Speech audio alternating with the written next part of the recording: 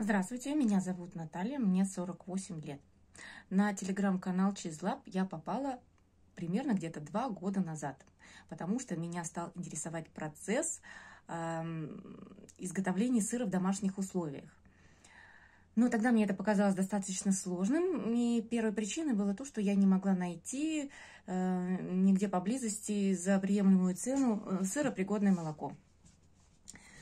И вот буквально, наверное, где-то в мае, в мае 2023 года, вот сегодня у нас этот год как раз подходит к завершению, а, мне с телеграм-канала было прислано приглашение а, на бесплатный урок э, онлайн по изготовлению сыра феты. Сыр феты я очень люблю, поэтому я решила, подумала, а почему бы и нет – по крайней мере, я запишу хотя бы рецепт этого сыра.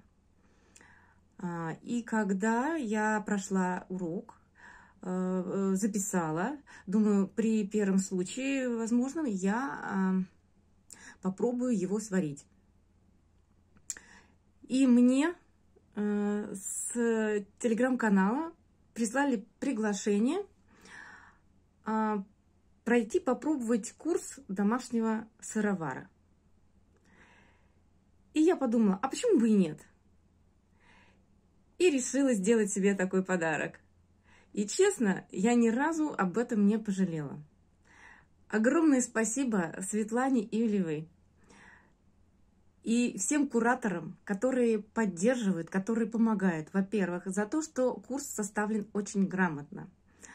Там столько бонусов, призов всевозможных настолько все доступно, рассказано, такие подробные технологические карты, что, ну, я не знаю, мне кажется, это очень сложно не справиться. Потом в процессе сыроварения получаешь такое истинное удовольствие, а еще когда у тебя еще и получается, так как это должно быть, просто испытываешь какой-то детский восторг, необъяснимый.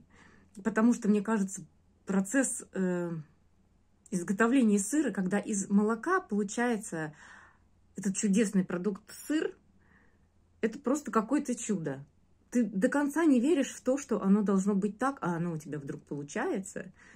Ну, по крайней мере, сейчас сыродел... сыроделание стало для меня хобби. Но мне кажется, что это перерастет во что-то другое, потому что хочется еще и еще.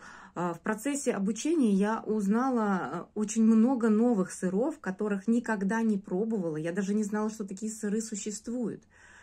А благодаря этим урокам, если ты не сделаешь домашнее задание, то следующий урок тебе не откроется. А тебе хочется еще что-то новенькое узнать, поэтому ты обязательно выполняешь домашние задания. И это здорово, это правильно, это очень сильно стимулирует. На самом деле я бы очень рекомендовала тем, кто любит сыры, тем, кто, кому нравится это занятие, обязательно приходите на эти уроки, вот, потому что это не так все сложно на самом деле. Главное просто брать и начинать это делать.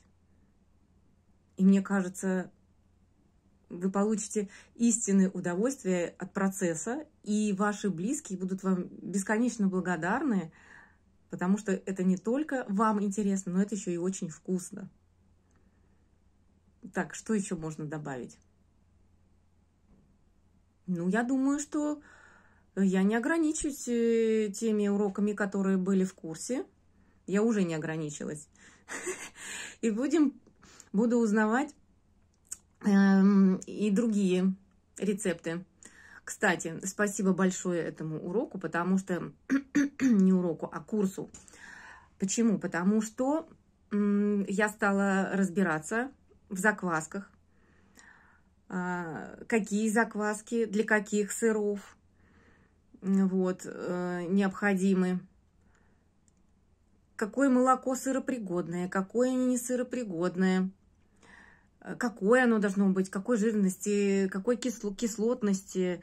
В общем, теперь, благодаря этому курсу, я могу э, попробовать э, варить сыры по другим рецептам. Я думаю, что я вполне справлюсь, потому что я уже, у меня есть отсылочки, я туда уже ухожу и сравниваю Э, правильно ли это или нет, может быть так или нет. Так что я очень всем рекомендую э, пройти не только этот курс, ну, для начала, я думаю, да, вполне достаточно будет этого домашнего сыровара. Вот. А уже если кто-то хочет совершенствоваться, то там уже, по-моему, столько большой такой выбор различных э, рецептов, сыров. Вот. Так что, дай бог. Всем большое спасибо, особенно Светлане Ивлевой, всем кураторам, которые меня поддерживали и до сих пор продолжают это делать. Вот. Я думаю, что я уже надолго с вами.